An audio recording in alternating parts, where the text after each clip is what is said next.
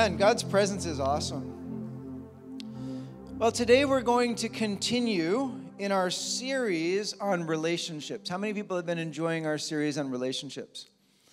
We're going to be going a couple extra weeks than we originally planned, uh, but we're, we've been enjoying it so much that we're going to continue on that. And before we get into today's lesson, what we're going to do is we're going to do just a little bit of review of what we've uh, been going over the past few weeks. Uh, we originally talked about relationships, the foundation of relationships. Um, we talked about how to build good relationships, how to care for relationships, how to maintain our relationships. Last week, we talked about influence in our relationships and how we can evaluate the relationships we have and see whether the influence is something that's influencing us in a negative way or we're talking we, we talked also about how we can be a positive influence on others.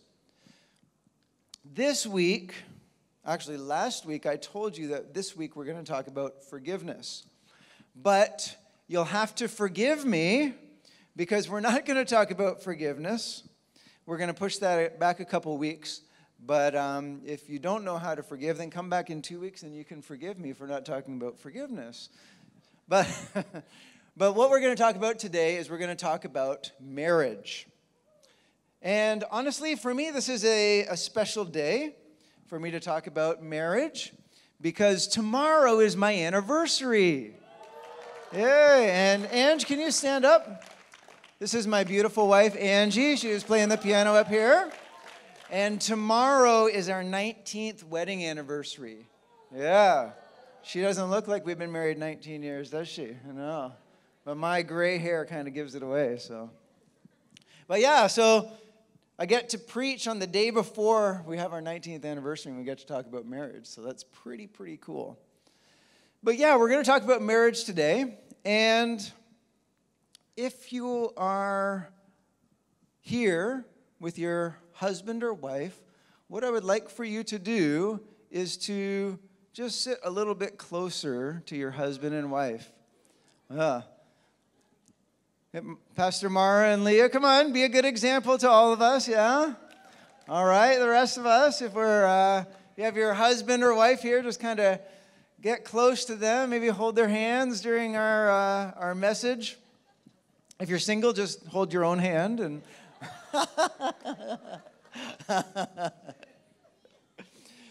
but seriously, though, if you're single, though, I also want you to pay attention while, while uh, we're talking today. Don't just kind of tune out, oh, this isn't for me.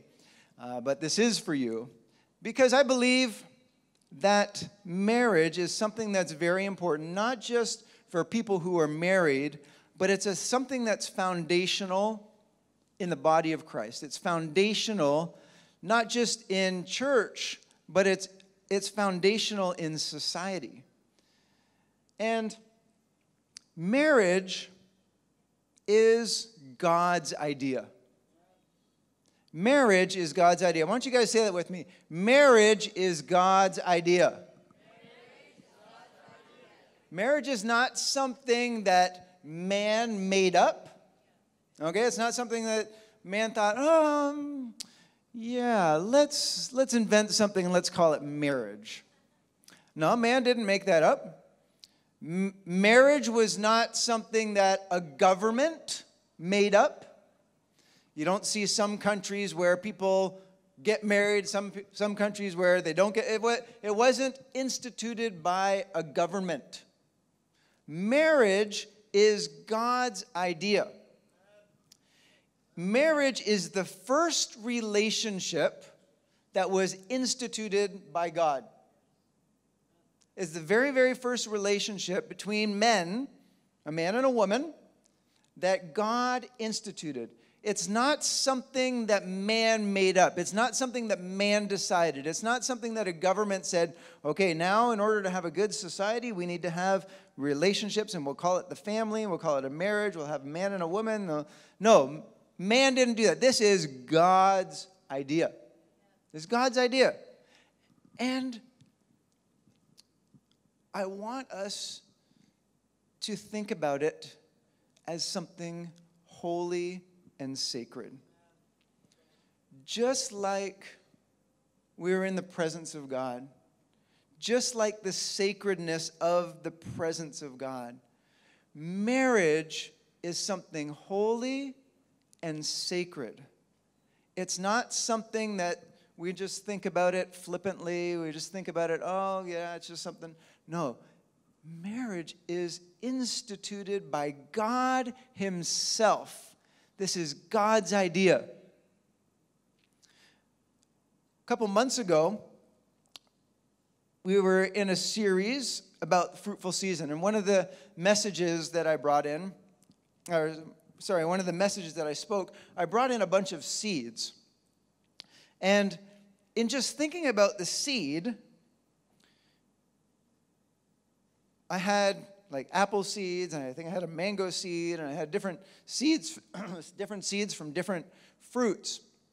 And I brought them in because in thinking about it, you know, there's so much potential in a seed, and that's what we were talking about is the potential. But the way that I think about it, one of the ways that I think about it is you hold that seed in your hand and you think about the generations of that seed and that plant and that tree and that fruit going back from generation to generation to generation to generation. There, at the very, very beginning, there was one apple tree. There was one tree that God put in the garden, and then that apple tree had apples, and then the seeds from the apples fell into the ground, made another tree, made another tree, made another tree, made another tree. And they have lasted from the generations, from, the, from creation all the way until now. Okay, now my, nowadays we might have different varieties of apples or different things like that, but they started and they had their origin with God. That's the same thing with marriage. Marriage had its origin in God. This is God's idea. He started it, and it's something that's holy and sacred.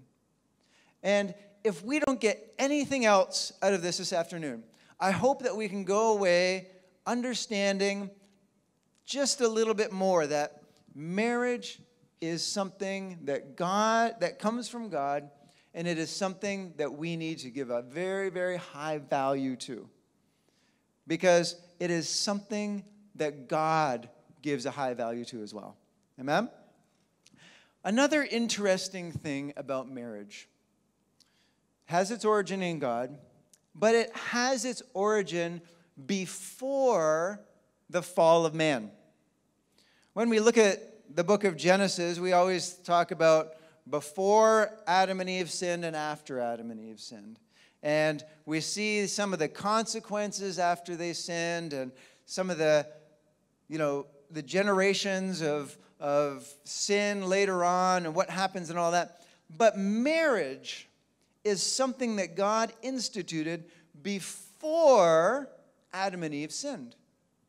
It's not something that God gave us because we sinned and now we live in this fallen state and we have to have marriage. No, marriage came before that.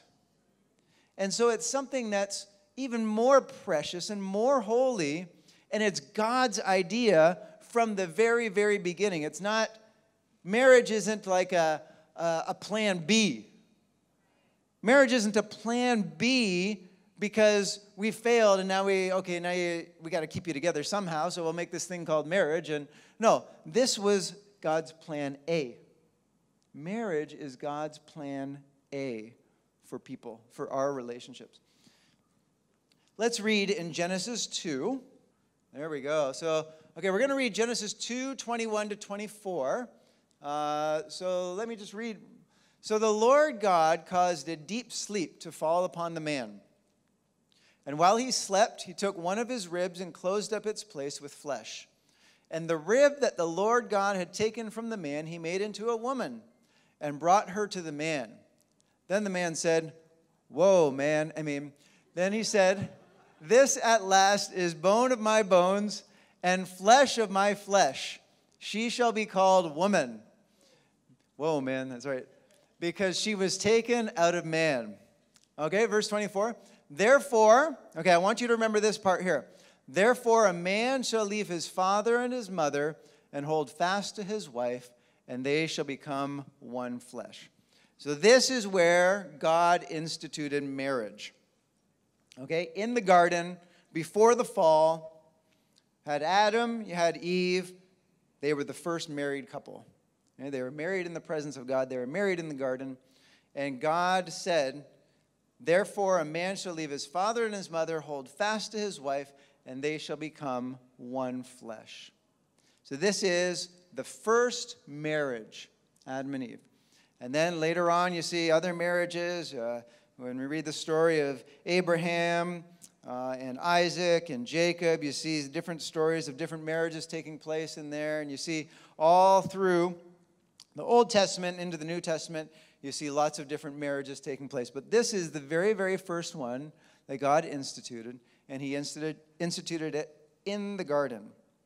Okay? It was marriage was not created by man, it was not created by a government, it was not created as a result of the fall, it was, it was created before the fall, but it was created by God for man. Okay? For us. And there's and there's different reasons, and we'll talk about it that what God thinks about it and what God expects and, what, and some of the blessings that we see from marriage. Let's go to uh, Matthew 19. Okay, so we see this is the first one was in Genesis. At the very beginning, God said, um, A man shall leave his father and mother and hold fast to his wife. In Matthew 19, this is the words of Jesus. Okay, Pharisees came to him, which is Jesus, and they tested him by asking, Is it lawful to divorce one's wife for any cause? And Jesus, seeing through their uh, attempts at trickery and deception, Jesus answered, He says, Have you not read that he who created them from the beginning made them male and female? And said, Therefore, a man shall leave his father and his mother and hold fast to his wife, and the two shall become one flesh. So we see in the beginning, okay, God instituted marriage. We see Jesus reaffirmed marriage, okay, in talking to the Pharisees. And then we also see in Ephesians, there's one more chap, one more verse we want 5 verses 28 to 32. In the same way, husbands should love their wives as their own bodies. He who loves his wife loves himself. For no one ever hated his own flesh, but nourishes and cherishes it, just as Christ does the church. So, for all of us husbands out there, our job is to nourish and cherish our wives, just like Christ does the church. Today, in the presence of God, God Himself came down. God is enthroned in in the praises of his people. God himself came down and we were encouraged. He nourished us, he cherished us. These are the things that he did to us. And, he's, and, and Paul here is saying this is what, what men need to do for their wives as well. And he continues on just as Christ does the church, because we are members of his body. And then the same passage that we see in Genesis, and then we see that Jesus reaffirmed. We, hear, we see Paul reaffirm it again.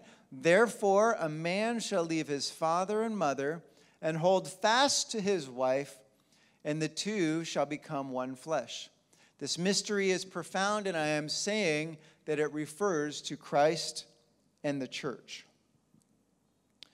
So we see in the Bible three times one at the beginning, one by Jesus, and also by Paul when talking to uh, the churches, is that he's saying, This is marriage. A husband and wife, a man and a woman, leaving and coming together, separating from others, and separating themselves to each other, and becoming one flesh.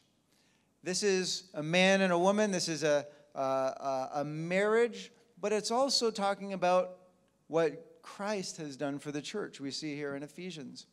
The same love that Jesus has for the church is the same love that we are to have in our marriage relationships. And the husband to have for his wife, and the wife to, to love the husband and to respect and to, to honor, just like we all see in, in Ephesians chapter 5 there. Now, I know that society and civilizations, I was reading a little bit about um, the fall of the Roman Empire. And they say there's lots of there's lots of reasons why they say that that uh, there was that the Roman Empire fell, but they say one of the reasons is because of the breakdown of the family structure in the Roman Empire. And they say that that was one of the one of the reasons. There's lots of other reasons as well, but they say that one reason that the Roman Empire fell was because of the breakdown of family relationships. Nowadays, marriage is undervalued and it is under attack. Marriage is undervalued and it is under attack. Selfishness and marriage are incompatible. Selfishness and marriage are incompatible. You cannot go into a marriage selfishly. As soon as you go into a marriage selfishly, you're setting yourself up for failure. I remember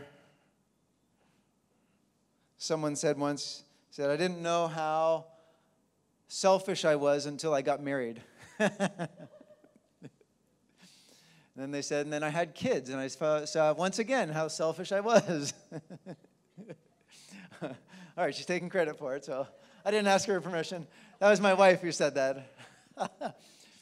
you don't know how selfish you are until you, until you get married. And then you're like, oh my goodness, I am so selfish. You try to maintain that selfishness in a marriage, boy, oh boy, you're in for a rude awakening. Because you're quickly going to learn that life is not all about you.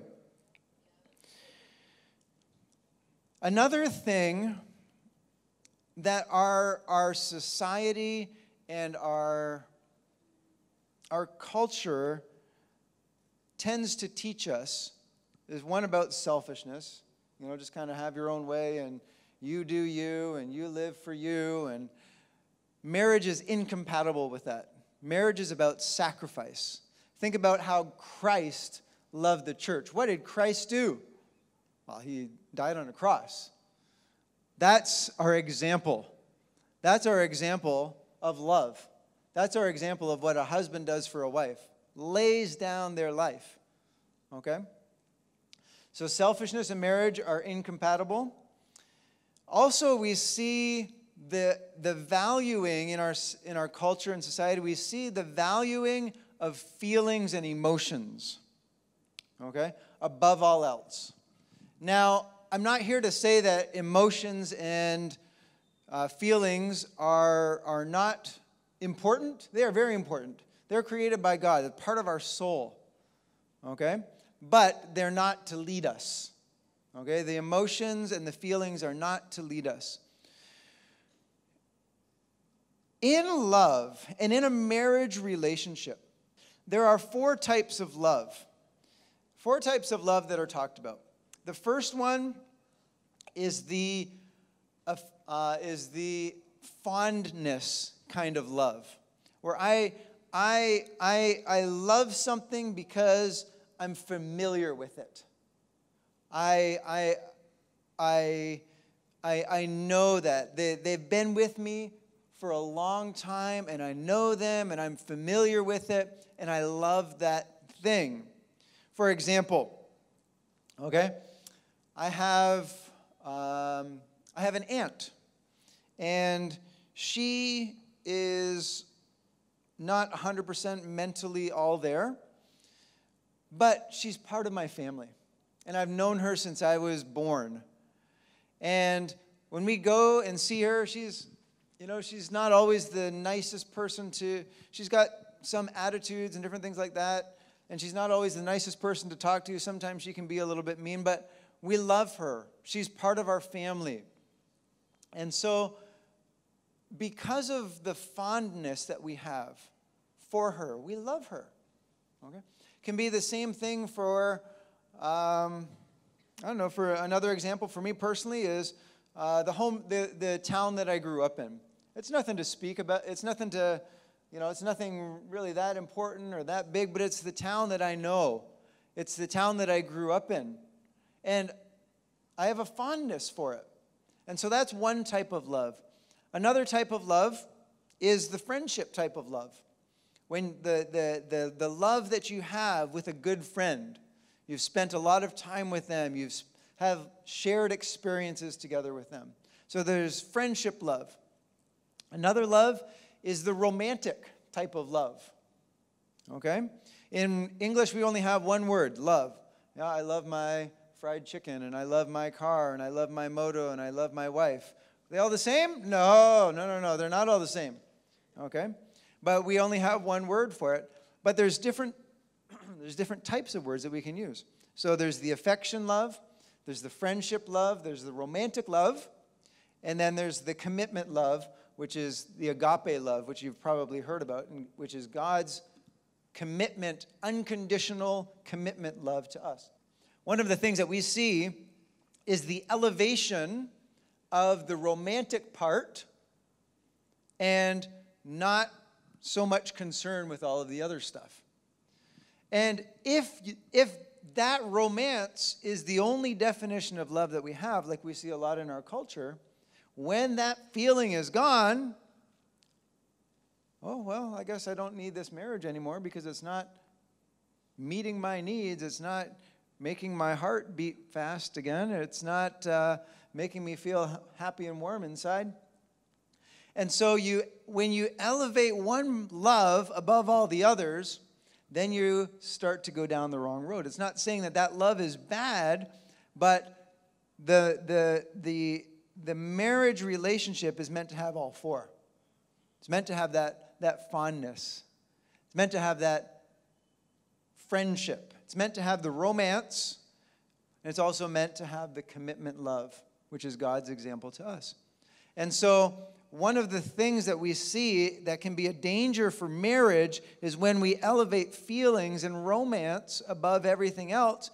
Because if you think that's the only kind of love there is, once that's gone, you feel like, oh man, I got to find another place to find that romance. And that, that's what our culture has done. So, marriage is undervalued and under attack. Another attack that we see against marriage is that against the traditional definition of marriage. Um, nowadays, we see a lot of different definitions of marriage. Like this person can get married to this person, and you know that person can get married to that person, and uh, it's not the way that God intended it. God intended marriage to be one man and one woman for life. Very simple, but very difficult to do. But that's God's marriage. And when those things are under attack and when the definition, the, the groundwork, the definition of marriage gets broken down, then marriages start to crumble. When marriages crumble, families crumble. When families crumble, societies crumble. And we see the results of that we see an increase in, in, in, in broken families and hurting children and, and people not being able to trust, not being able to have close relationships because of these broken, broken families and broken relationships. So, what are some things that we can do? We want to maintain that sacredness that holiness, the way that God intended for us to have our marriages. It's not saying that we have to be perfect. I don't want to give you this idea that, okay, yeah, everyone's got to be perfect. We got to walk and make everybody think that we got the perfect marriage and everything's awesome. No, let's be real. Okay, I, let's take that pressure off of you. You don't got to be perfect. Okay, everybody can take a deep breath. I don't got to be perfect. Okay? And let's live life the way that God wants us to, use the tools that God has given us so that we can continue in relation in good relationships and make our marriage better. But the first thing that I think we need we do need to do in in making our marriage relationships better is to value marriage. Let's all agree that this is a God thing. Let's all agree that okay, yeah, you have this the paper that you sign from the government or you know the marriage license, the marriage certificate or whatever. But when we got married, we got married before God. We got married before God. We got married. God is a part of this relationship. Pastor Samadi read this verse, and I'm going to read it today. he read this verse in first, first service and second service, but it's from Ecclesiastes chapter 4. It says, Two are better than one because they have a good reward for their toil. How many? How many are better than one? Two. All right. For if they fall, one will lift up his fellow. But woe to him who is alone when he falls and has not another to lift him up. Again, if two lie together, how many? Eh, two, right? Okay. I'll read it again. Again, if two lie together. So two, again, right? Two, two, two, right? Again, if two lie together, they keep warm, but how can one keep warm alone? And though a man might prevail against one who is alone, two will withstand him. How many? Two, two, two, right? And then verse 12, it finishes A threefold cord is not quickly broken. Whoa, whoa, whoa, wait a minute. I thought we were talking about two people. Two, two, two. A threefold cord. What? Three? Well, who's that third? God is in the middle of our relationships. God has to be in the middle of our relationships, right? That third is God. We couldn't do this without God. We couldn't do this for 19 years without God. Two, two, two, but there's a third. A threefold cord is not easily broken. God has to be at the center. God has to be at the center of your relationships. The closer you get to God, the closer you'll get to each other. That's just the way that it works. So, value your marriage as God values it. Stay close to God. Understand that God is in the middle. Understand that the one that you're married to is the one who God has planned for your life. Now, some people might think, oh, yeah, well, uh, I got married when I was unsaved. Maybe I made a bad decision then. Well, you know what? The one that you're married to now is the one that God has for your life. Okay? Don't even let those doubts get in. God can redeem, God can make something amazing out of what was a mess before. My friend who got married the day two days before his, his daughter was born, God has made something beautiful out of a mess. God has made something beautiful out of a mess. And so maybe you made some crazy decisions before you became a Christian. Okay, but God is with you now. God doesn't want you to separate and divorce. That's not God's plan. He's got different words in the Bible about that. But He is faithful. He is faithful. And He wants you to be sure that He is in your relationship, He is in your marriage, He is with you, He is not going to leave you, and He's going to help you make it through when we honor God and when we honor what God honors, He helps us through. In our marriage relationships, we need to apply the principles that we have been talking about in this relationship series. We've talked about staying committed to our relationships. Even when seasons change. Remember, we talked about seasons changing in people's lives. Just stay committed to that relationship. Maybe, you know, you start to have kids and you don't get to spend as much time with your friends. Don't cut them off. Stay committed to the relationships. The same is true with marriages. We need to make sure that we're staying committed. A big, big thing that helps marriages is learning about repentance and forgiveness. Repentance is the doorway that God has created for us to enter back into intimate relationships. When there's an offense, forgiveness is the way back into relationships, to healed relationships, to restored relationships. It's forgiveness. That's the way what God does with us so that we can enter back into relationship with Him, but it also works in our relationships with others too. So it has to be, has to be. Restored relationships have to be through forgiveness. And I encourage you, if you want to learn more about that, we're going to, in two weeks, we're going to talk specifically just about forgiveness. And I'm actually really excited about it because we've been preparing, and I think it's going to be a real, real good time.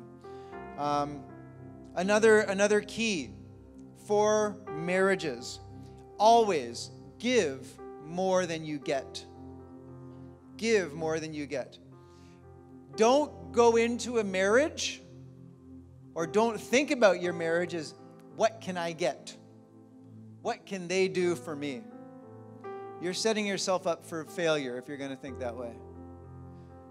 The key is to think what can I give? How can I serve? How can I bless their life? How can I make their life better? When thinking about your, your spouse.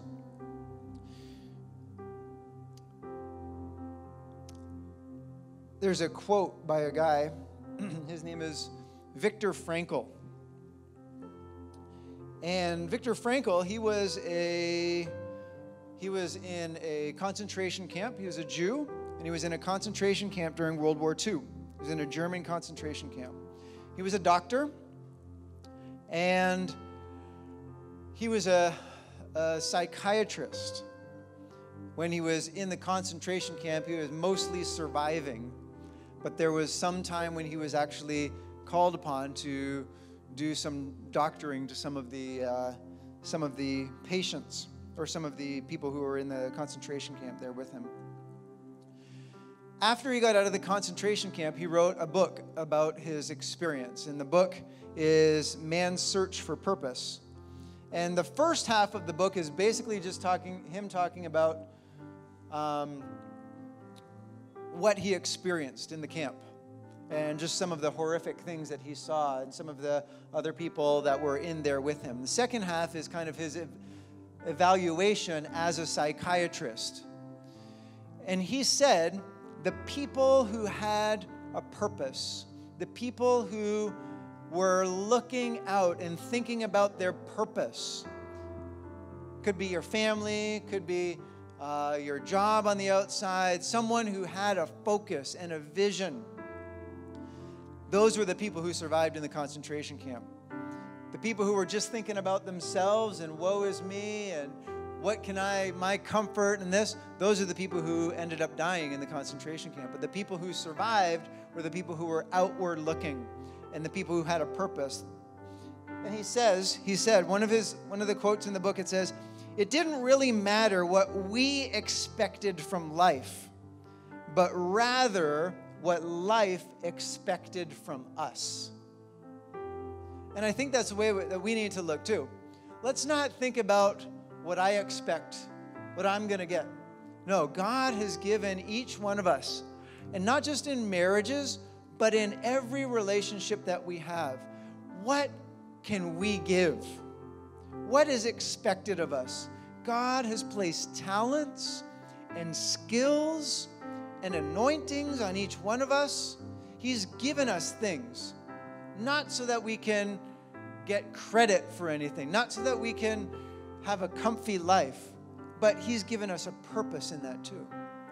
What can you give? And especially in a marriage, what can you give? How can you serve? How can you serve your spouse? Or maybe you say, okay, how can I join together with my spouse and start to have a purpose together with my spouse to live and to give and to serve and to impact our generation for God? Because this generation needs strong marriages. This generation needs strong families. This church needs you to have a strong marriage. Because if we want to see this church continue for generation and generation after generation after generation, it's about families, it's about marriages. God instituted, it thousands and thousands of years ago in the garden before sin. But it carries through to today. It has that same impact, it has that same sacredness and value, and it has that same supernatural, life changing, generation impacting ability. It's marriage, it's God's plan. Amen? Let's all stand up together.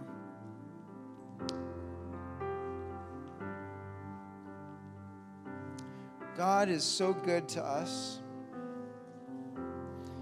He shows us His ways, He shows us His word, but He, he doesn't abandon us, He doesn't leave us.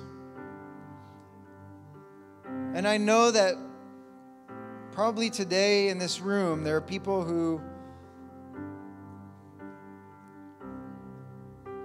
are having problems in their marriage relationship. Maybe it's not what you expected it. Maybe you got married and you thought things were going to be one way and you think about the happily ever after. But then the reality hits and boy, it's not quite what I expected. I wasn't expecting this. I wasn't anticipating that things were going to be so difficult. I want to tell you today that our God is a God of miracles. Our God is a God who changes hearts. Our God is a God who can bring something beautiful out of the brokenness. And I want you to have faith today. I prayed with someone just this morning. I said, Please pray for my family. Please pray for my marriage. Please pray for this relationship uh, it's, it's, it's so difficult. God can do it. Amen? If God created it and God wants it to happen, He's not going to leave you alone if you ask Him for help. He's going to say, Wow, He's going to see from heaven. He's going to see you and says, Okay, here's somebody who wants what I want. Here's someone who loves what I love. Here, take my heavenly virtue.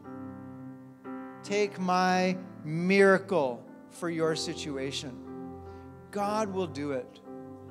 Let's pray together.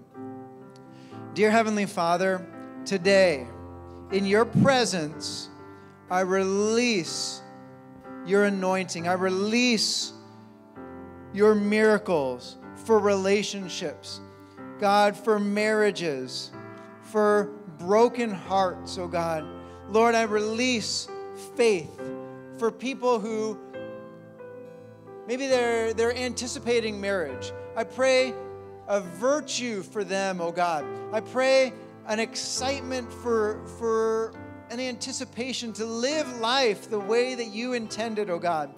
Lord, I pray for each one of us that we would go away today valuing your mar- valuing marriage just a little bit more, God.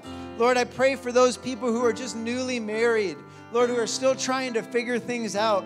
Lord God, and I pray for a grace upon them, oh God. Lord, I pray for a grace upon all the newlyweds, oh God. I pray for a grace for those people who are just having kids. I know that kids is a big transition as well, God. I pray for a grace for that. Lord, I pray for a grace for those people who Their relationships have been broken. But God, I pray for your healing. God, you're a God of miracles. God, you're a God of wonders. You're a God who does it, God. And we call upon your name, God. We call upon you to do it. Open up the heavens over relationships. Open up the heavens over marriages. Open up the heavens over homes and families, oh God. And I pray, God, that New Life Fellowship would be known as a, a church of strong families, a church of strong marriages, to see the future change, to see this country change for your glory. God, because it is in you we put our hope. It is in you that our marriages have life and truth and peace, oh God. Lord, we thank you so much for your faithfulness. We thank you for your perfect love that never leaves us or forsakes us, that gives us strength in our weakness.